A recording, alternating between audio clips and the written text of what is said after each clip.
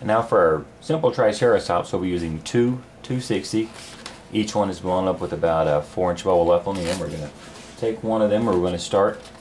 I'm going to make about um, a 2 inch bubble on the end there. This is going to be his first horn. And we're going to make a little small round bubble right behind it. Make that into a pinch twist. And we're going to make another bubble the same size. Make that into a pinch twist as well.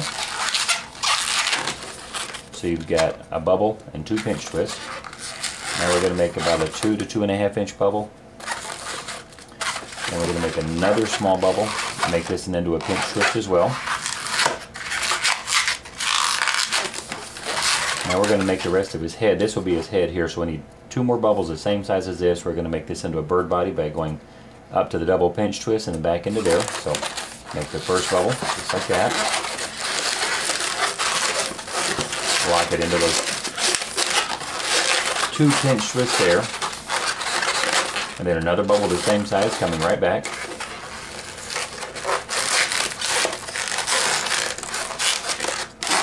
And now we're going to make the frill that goes across the back of his head. What we're going to do is make about a two inch bubble, inch and a half to two inch bubble there. And we're going to make a little small round bubble here.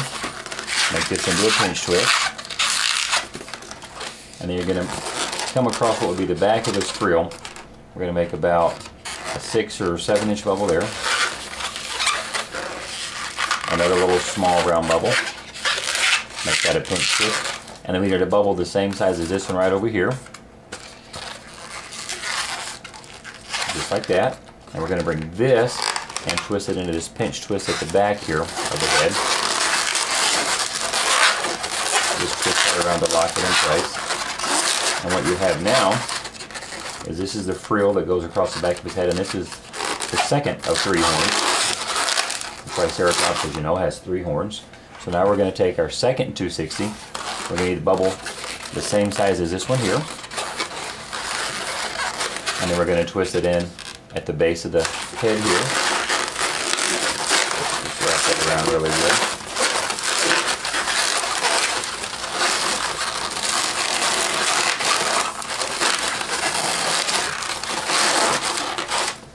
There we go. And what you do, you're going to get the frill to kind of stand up a little bit behind the horns like that. That's going to be the head of our Triceratops. And that pinch twist goes on the bottom and the back, and what that does is pushes the neck out and it forces that frill to stand up behind his horns there. Now we're going to make a little small neck, about a three quarter inch bubble there. Then we're going to make a little small round bubble. Make that into a pinch twist.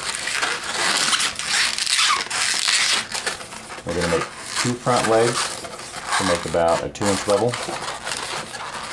Another bubble the same size. Lock that into that pinch twist.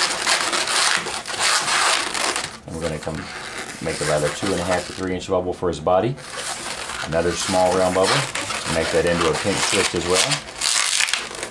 And we're going to make his two back legs. Make sure they're about the same size as the front legs. So make two bubbles and then lock back into that pinch twist.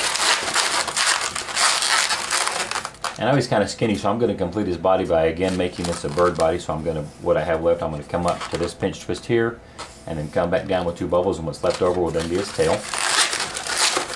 So we need a bubble the same size as that. Twist that around his front legs. And then one more bubble the same size and come back to this pinch twist on the back end.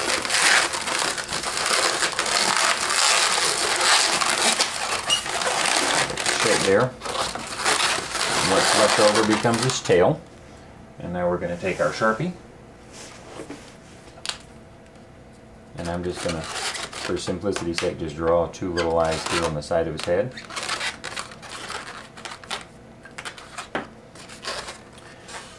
And there's your little Triceratops.